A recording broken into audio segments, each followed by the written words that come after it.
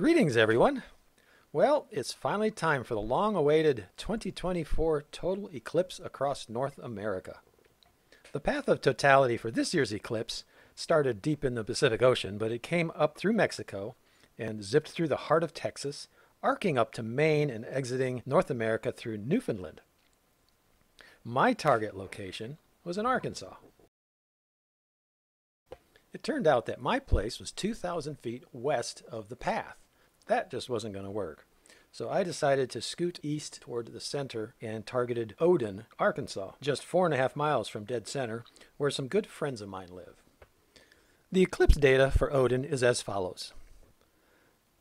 This chart tells us that the moon will just start to touch the sun at 12:31 p.m. The moment of totality begins at 1:48 and lasts 4 minutes and 17 seconds. Interesting little factoid is that the moon's shadow is scooting through Oden at 1,736 miles per hour. And now, the recorded eclipse event.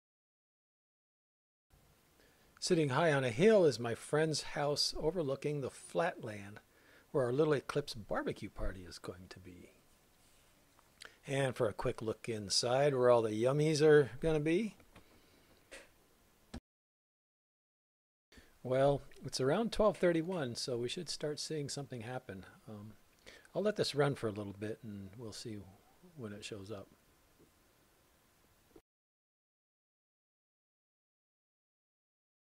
Looks like we didn't have to wait long. It's starting to show up somewhere around 4 o'clock. I think I'll speed up the replay for the next couple minutes, uh, shorten it down to maybe just uh, 20 seconds or so.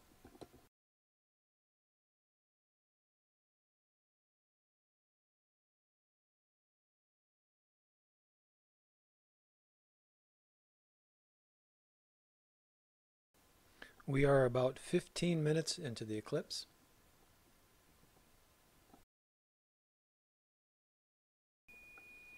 And now we're about uh, 30 minutes in. We're starting to approach that sunspot. Uh, I'm going to estimate, what, 20 more minutes uh, we might get there?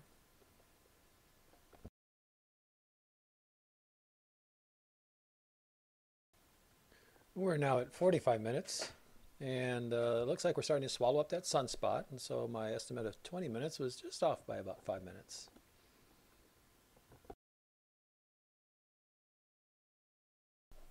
We are now a full hour past the start.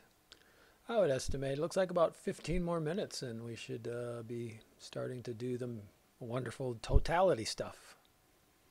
And it also looks like we've got a growing group of people here.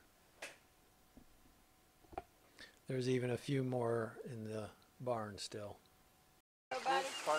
All right, we're just about there, and we should be able to watch it just disappear pretty quickly. Yeah, I got you. I got everybody. We've got about two or so minutes. We'll let it run. Oh, it's almost dark.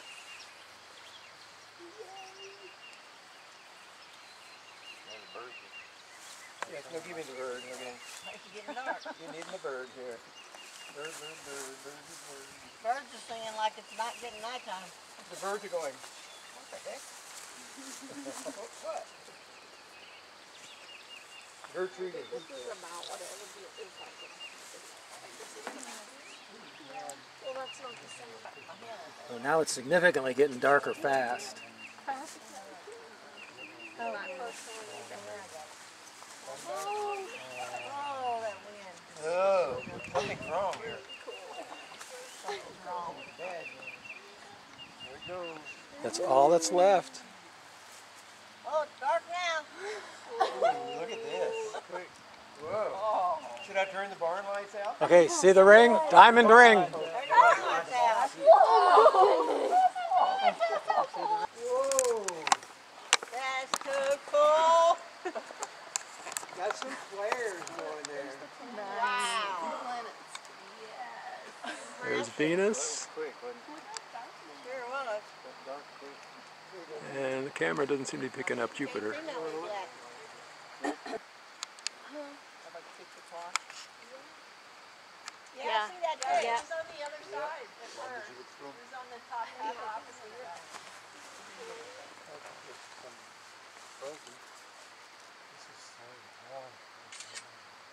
is that a planet behind it? Oh, okay, there's Jupiter. Oh, there's, there's the other planet. Look at that. Yeah. Yeah. I see the That's cool. There's a lot of flares on the bottom. Oh, here comes that. Yeah, that's the flares. Wonder what seats on that plane cost. That's a, that thing on the right by six o'clock is a solar flare. That is so cool. Solar flare. Yeah. Wow. Ooh, here it comes. again. Oh, There you go. That's all. It's getting bright. glasses. Your four minutes are up. That was a fast four minutes. Oh my God. Four minutes are up. The world is a wonder. Bright orb. Some people just go to work and school. It should be an actual In the places where you can see it.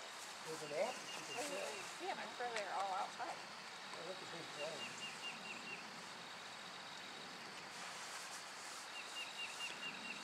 Here's a bit more information on what we just saw. One of the attendees had a slightly better camera phone and provided this nice shot. That pink anomaly at the bottom of the moon is actually the glare from a solar prominence.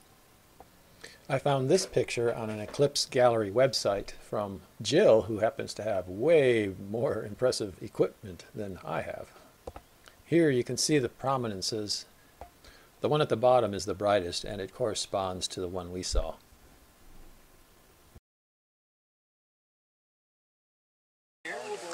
All right, we're about 10 minutes past.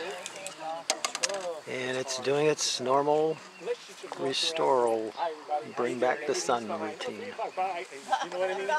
Really, really, you just have to sort of keep your head down All right, we're almost 25 minutes past. Maybe with another 45 or so to go.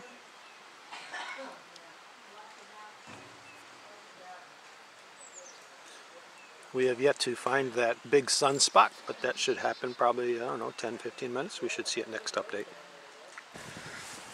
Well, we're about, uh, probably about 40 or so minutes, 45 minutes past eclipse. And uh, we're finally starting to see that sunspot emerge. Let's zoom in on it too, just for fun. Yeah, there it is.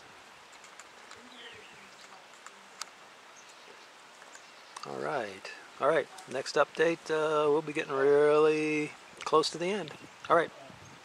All right. It's been one hour, and yeah, this this uh, when it winds down, it's just not near as exciting or interesting. But anyway, it still has to wind down, and so we're almost at the end. All right, we are nearing the end. Supposedly there's about two more minutes, and the moon is just about disappeared off the top.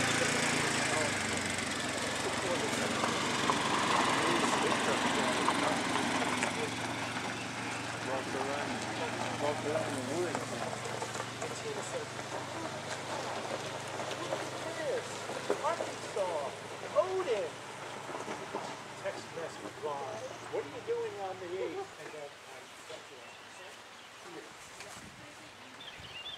And it is there's the little Just on the edge. Yep. Yep, it's kind of, kind of, kind of gone. Yep. Maybe not, but yeah. A little dent. That's all you can see. Maybe still here, yeah. If you can see it, if you had a humongous telescope, you can see it probably two or three minutes after. All right, it's gone. That's it. It's over. That's all go. All right, it was fun, guys.